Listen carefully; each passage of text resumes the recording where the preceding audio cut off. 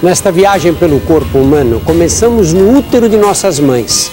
Demos os primeiros passos, atingimos a puberdade, a adolescência e nos tornamos adultos. Estamos ao redor dos 30 anos. É hora de ter filhos. Podemos pensar que a atração sexual seja um fenômeno físico ou social, mas boa parte dela depende da biologia. Usamos os olhos para escolher nossos parceiros, mas o olhar não é tudo. A atração depende do olfato.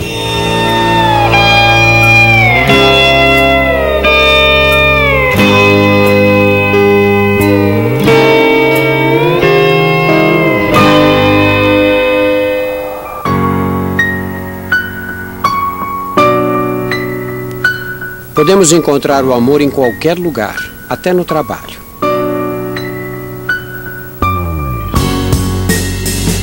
De repente, alguém nos parece muito mais interessante do que os outros. Os românticos dizem que estar apaixonado é um capricho do coração. Mas, na verdade, o segredo da paixão se acha guardado no interior, lá no fundo de nosso nariz. No nariz, os nervos olfativos fazem mais do que reconhecer os cheiros dos ambientes. Sem percebermos, eles também detectam e analisam as características de uma substância química liberada junto com o suor das pessoas que nos cercam: os ferormônios. Por incrível que pareça, os ferormônios carregam informações detalhadas sobre nossa genética, saúde e capacidade de resistir a doenças. Na hora da paquera, o cérebro analisa esses sinais para nos ajudar a escolher a pessoa com os melhores genes. Genes que aumentem as chances de sobrevivência dos filhos que estarão por vir. Apaixonar-se é muito mais do que viver emoções intensas. A paixão é química. Quando avistamos a pessoa querida, liberamos adrenalina na circulação. Por trás de um olhar apaixonado está sempre uma descarga de adrenalina. O coração bate descompassado. Perdemos o sono.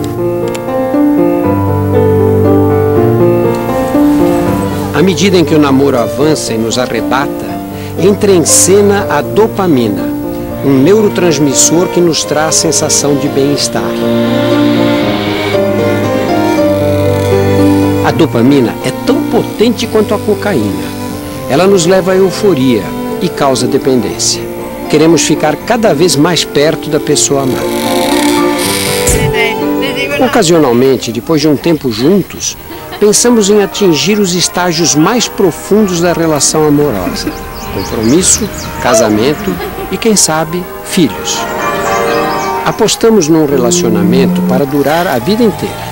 E quem diria, até nossas futuras bodas de ouro dependerão de substâncias químicas. O relacionamento íntimo e duradouro só existirá se a química for favorável. Sexo não é apenas uma fonte de prazer ou um meio de ter filhos. Sexo causa encantamento e reforça a ligação entre os amantes. Durante o orgasmo, nossas hipófises inundam a circulação com ocitocina, o hormônio que estreita laços afetivos. É o mesmo hormônio que liga o bebê à mãe. Quanto mais sexo, mais ocitocina, mais ligados a outra pessoa nos sentimos.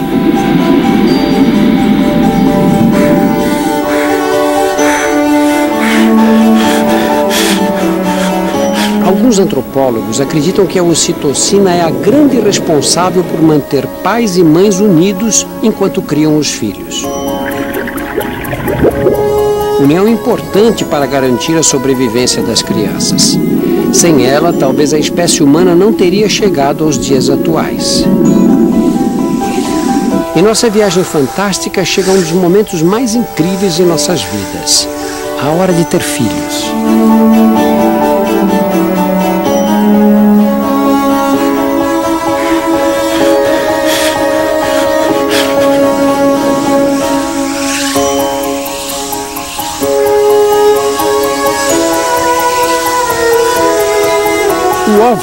É a maior célula do corpo humano. Todo mês a jornada se repete. Ele amadurece e é expulso do ovário. Normalmente, o óvulo morre e é eliminado do corpo durante a menstruação. Mas este terá outro destino: dar origem a um bebê.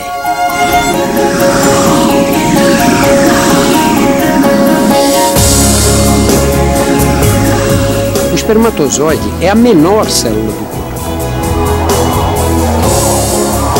300 milhões de espermatozoides invadem a vagina durante a ejaculação.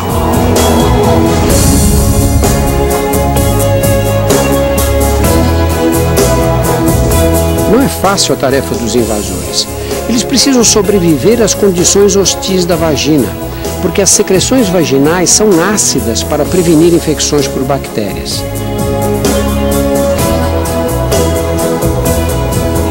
Essa acidez é capaz de destruir milhões de espermatozoides. Muitos morrem antes mesmo de chegar ao colo do útero. Os que conseguem sobreviver nadam útero adentro para chegar ao óvulo que vem descendo pela trompa. Contrações musculares muito delicadas no interior das trompas ajudam os espermatozoides a percorrer o caminho. Dos 300 milhões, somente algumas centenas chegarão perto do alvo final. E apenas um fertilizará o óvulo.